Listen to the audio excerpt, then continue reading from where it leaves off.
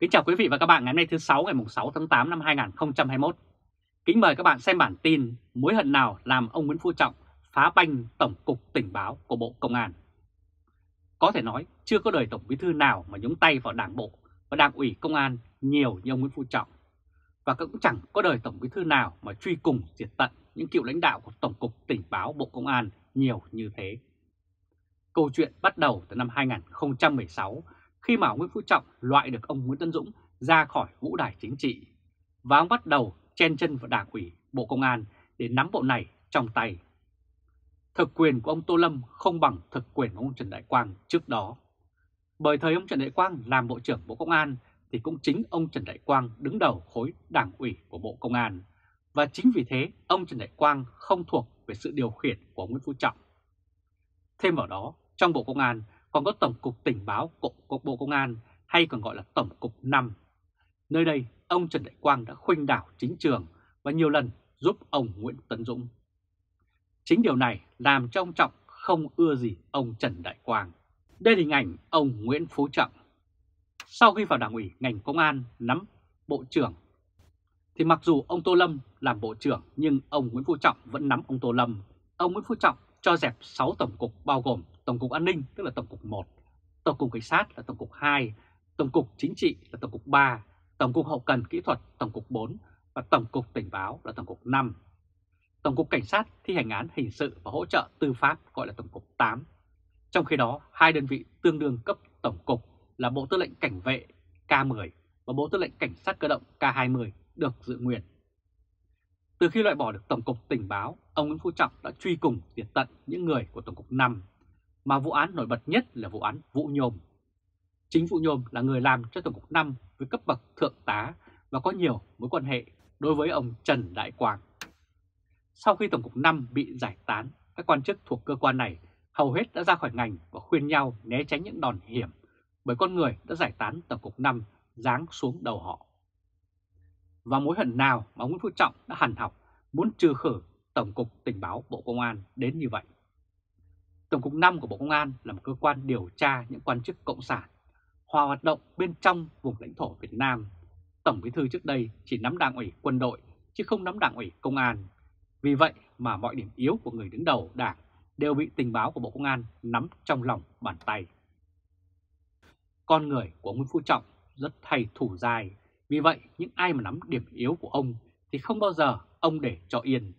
Đó là lý do tại sao khi ông Trần Đại Quang ngồi vào chiếc ghế hữu danh vô thực là chủ tịch nước thì đã bị trừ khử. Đó cũng là lời cảnh báo đối với lãnh đạo nào của Bộ Công an không phục tùng ông Tổng Bí Thư. Và những cựu sĩ quan ngành tình báo của Bộ Công an dù đã tản mát nhưng những bí mật thì vẫn còn đang được họ nắm giữ. Nếu không trừ khử những người này thì ông Nguyễn Phú Trọng sẽ ăn không ngon, ngủ không yên. Đây là hình ảnh ông tướng công an Nguyễn Văn Hưởng đầy quyền lực. Vào ngày 3 tháng 8, trên báo chí nhà nước Cộng sản cho biết, Cơ quan Cảnh sát điều tra Bộ Công an cho biết cựu Tổng cục trưởng Tổng cục Tình báo Nguyễn Duy Linh đã báo tin để Vũ Nhôm bỏ trốn. Nếu ông Nguyễn Duy Linh mà không báo cho Vũ Nhôm bỏ trốn, thì cả nhóm xa Bẫy và ông Nguyễn Phú Trọng sẽ một lúc bắt tất cả. Và trước những đòn truy bắt thì tàn quân của Tổng cục 5 không trốn thì chẳng nhẽ đứng một chỗ cho công an đến bắt hay sao? Cáo trạng của Viện Kiểm sát Nhân dân tối cao xác định ông Nguyễn Duy Linh, cựu Phó Tổng cục trưởng Tổng cục Tình báo là người đã gọi điện cho Vũ Nhôm biết có thể bị bắt và khuyên Vũ bỏ trốn. Viện Kiểm sát Nhân dân tối cao đã ban hành cáo trạng vụ án đưa nhận hối lộ và môi giới hối lộ liên quan đến Phan Mạnh Văn Đình Vũ, tức là Vũ Nhôm, cựu Chủ tịch Hội đồng Quản trị Công ty Cổ phần Xây dựng Bắc Nam 79. Theo đó, Viện Kiểm sát Nhân dân tối cao đã truy tố Phan Văn Anh Vũ về tội đưa hối lộ, Hồ Hối Hòa về tội sống tại Nghệ An về tội môi dối hối lộ và Nguyễn Duy Linh, cựu Phó Tổng cục trưởng Tổng cục Tình báo về tội nhận hối lộ theo khoản 4 điều 354 Bộ Luật Hình sự. Bây giờ câu hỏi đặt ra ông Nguyễn Duy Linh là ai? Ông Nguyễn Duy Linh là Đại tá, Cục trưởng Cục Tình báo B05 Bộ Công an, hiện nay 50 tuổi, là con trai của tướng Công an Nguyễn Văn Hưởng, sinh năm 1946 quê quán xã Xuân Sơn, huyện Đông Triều, tỉnh Quảng Ninh. Tướng Hưởng từng là cựu ủy viên Ban chấp hành Trung ương Đảng khóa 9 và 10, từng là Thứ trưởng Bộ Công an trong 10 năm, từ năm 2001 cho đến năm 2011, sau đó là phái viên tư vấn cho Thủ tướng về an ninh và tôn giáo đến tháng 3 năm 2013 thì nghỉ hưu.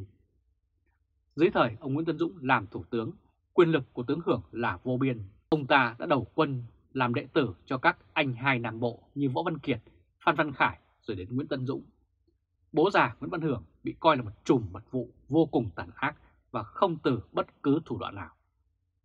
Khi còn tại chức, tướng Hưởng còn là kẻ đứng đằng sau hàng loạt vụ bắt bớ, giam cầm giấy bất đồng chính kiến, cũng như những người biểu tình chống Trung Quốc, đàn áp khốc liệt các tổ chức xã hội dân sự và giới trí thức phản biện. Là cánh tay đắc lực của Nguyễn Tân Dũng, tướng Hưởng trở thành một tay cáo giả lão luyện. Suốt nhiều năm phục vụ và phụ trách an ninh, mật vụ, tình báo, khi thanh trừng các đối thủ chính trị và chống đỡ các cuộc tấn công từ phe tư sàng Hưởng cũng thừa thủ đoạn và chứng cứ để mang ra mặt cả với lãnh đạo cấp cao của thượng tầng chính trị. Nhờ vậy mà ông Hưởng đã hạ cánh an toàn cho chính ông và gia đình ông sau này. Đây là hình ảnh tướng Nguyễn Duy Linh bị chồng tội. Đó chính là lý do mà ông Hưởng được Thủ tướng Nguyễn Tân Dũng giữ lại làm cố vấn cho đến năm 2013, khi ông Dũng bị Bộ Chính trị gây sức ép buộc phải sa thải Nguyễn Văn Hưởng. Và Nguyễn Duy Linh được xem là bản sao của ông bố Nguyễn Văn Hưởng vì sự quỷ quyệt và thủ đoạn. Chính nhờ người cha đầy quyền lực, Nguyễn Duy Linh được đặt vào chiếc ghế Phó Tổng cục trưởng Tổng cục Tình báo dưới thời Bộ trưởng Bộ Công an Trần Đại Quang. Tới cuối năm 2018, Bộ Công an đã giải thể các tổng cục, tổ chức sắp xếp lại bộ máy, mặc dù dính vào vụ bê bối Vũ Nhôm và rất nhiều vụ án khác, nhưng Nguyễn Xuân Linh vẫn giành được chiếc ghế Cục trưởng Cục Tình báo B05 Bộ Công an.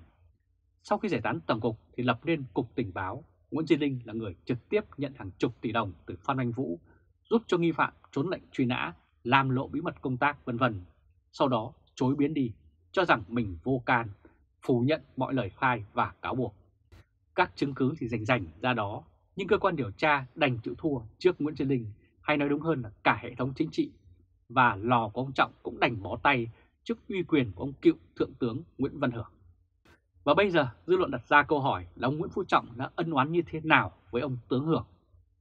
Đại tá Nguyễn Duy Linh được Bộ Công an cho là loại tội phạm đặc biệt nguy hiểm, ngồi xổm lên luật pháp. Nếu Nguyễn Duy Linh không bị xử lý, trừng phạt một cách nghiêm minh, kỷ cương pháp đức sẽ bị nhạo báng, sẽ làm gia tăng bất công trong xã hội. Đây là hình ảnh ông Vũ Nhôm. Theo cáo trạng, vào năm 2018, xuất phát từ việc Phan Văn Anh Vũ chủ động khai báo tự nguyện viết đơn trình bày với cơ quan điều tra Bộ Công an về nội dung sự việc vào năm 2017. Do lo sợ sự việc bị xử lý thành hành vi làm lọt lộ tài liệu bí mật nhà nước, Vũ đã thông qua Hồ Hữu Hòa là người hành nghề phong thủy để làm quen, nói chuyện và chuyển tiền cho bị can Nguyễn Duy Linh và nhờ ông Linh thông tin về việc Tổng cục Tình báo, tức là Tổng cục 5 Bộ Công an xem xét xử lý đối với Vũ, cũng như giúp Vũ trong quá trình xử lý. Sau đó, Phan Văn Vũ đã bỏ trốn sang Singapore do Nguyễn Duy Linh thông tin cho biết Vũ có thể bị khởi tố, bắt giảm. Chính cái quá khứ của tướng Hưởng mà ngày nay ông Nguyễn Duy Linh đã phải nhận hậu quả rất nặng nề đến như vậy, mặc dù các quan chức trong Đảng Cộng sản Việt Nam không quan chức nào mà không tham nhũng. Quý vị và các bạn vừa theo dõi chương trình truyền hình trực tiếp của Lê Trung Khoa, Thời báo chấm ngày hôm nay thứ 6 ngày 6 tháng 8 năm 2021 với bản tin mối hận nào làm ông Nguyễn Phú Trọng phá banh Tổng cục Tình báo Bộ Công an. Quý vị và các bạn hãy chia sẻ video này cho nhiều người biết và bấm nút theo dõi YouTube và Facebook của Thời báo chấm